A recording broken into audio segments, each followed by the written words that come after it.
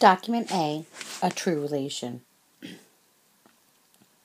Arriving in Wero Werowocomoco, the Emperor welcomed me with good words and great platters of food. He promised me his friendship and my freedom within four days. He asked me why we came and why we went further with our boat. He promised to give me what I wanted and to feed us if we made him hatchets and copper. I promised to do this, and so, with all this kindness, he sent me home. Source Smith's own words from a true relation of such occurrences and accidents of note as hath happened in Virginia since the first planting of that colony, published in 1608.